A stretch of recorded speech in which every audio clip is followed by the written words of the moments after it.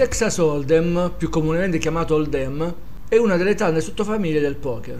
In questo video noi tratterremo solo il Texas Hold'em, italianizzato in poker alla texana.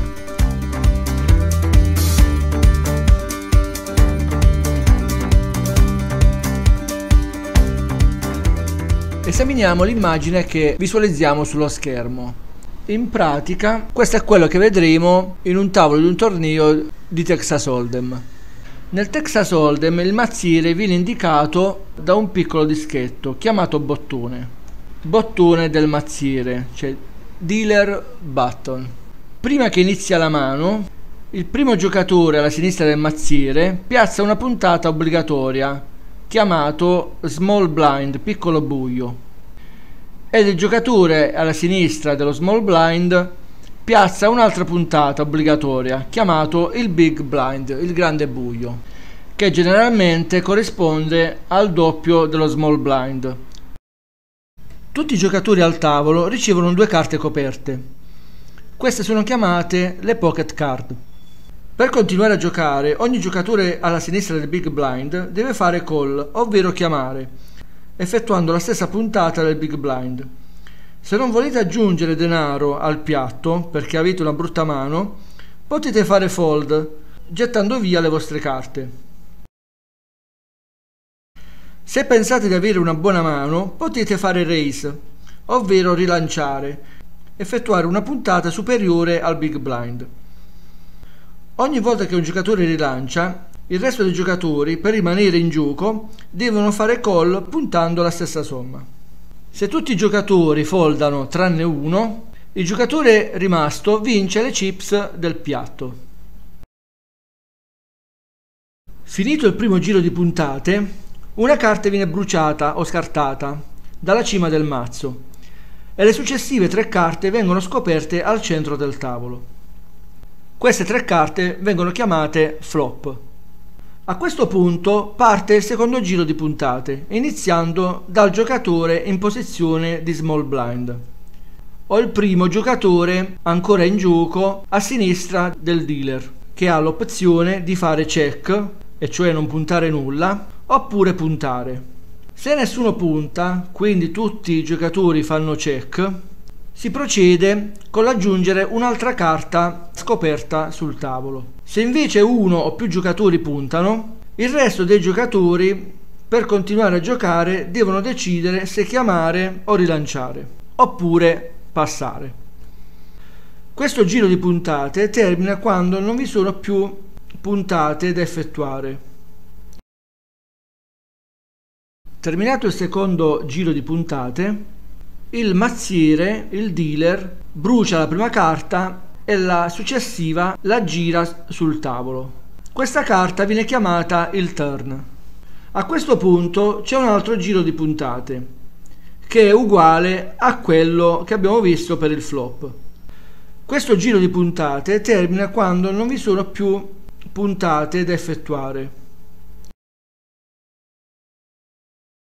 Dopo aver terminato il giro di puntate, il dealer brucia la prima carta del mazzo e gira la successiva sul tavolo. Questa carta viene chiamata River, che va a completare le 5 carte in comune con tutti i giocatori, chiamate le community card. A questo punto vi è l'ultimo giro di puntate. Terminato questo giro di puntate, se sono rimasti in gioco due o più giocatori, si va allo showdown. Il primo a mostrare le carte è colui che ha effettuato l'ultima puntata o l'ultimo rilancio. Il giocatore con la migliore combinazione di 5 carte vince il piatto. Nel caso in cui più giocatori abbiano lo stesso punto, il piatto viene diviso equamente. Una volta segnato il piatto, termina la mano e si procede con la mano successiva, con il bottone che passa in senso orario al giocatore successivo. Vengono piazzati i bui e si parte con la distribuzione delle carte.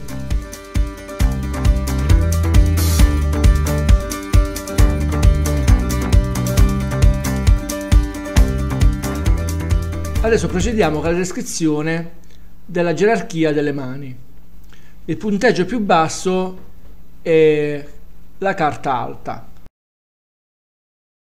Punteggio superiore alla carta alta è la coppia.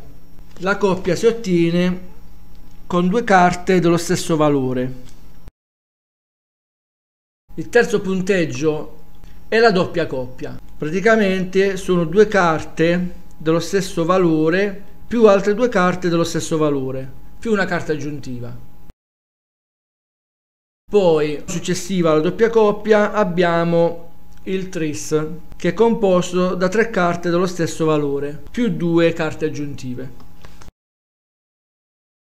Punteggio superiore al tris è la scala, praticamente composta da 5 carte in sequenza numerica di seme diverso. Punteggio superiore alla scala è il colore, che è composto da 5 carte dello stesso seme non in sequenza. Punteggio superiore al colore è il full, che è composto da un tris più una coppia. Punteggio superiore al full è il poker, che è composto da quattro carte dello stesso valore più una carta di influente. Punteggio superiore al poker è la scala a colore, che è composta da 5 carte dello stesso seme in sequenza numerica.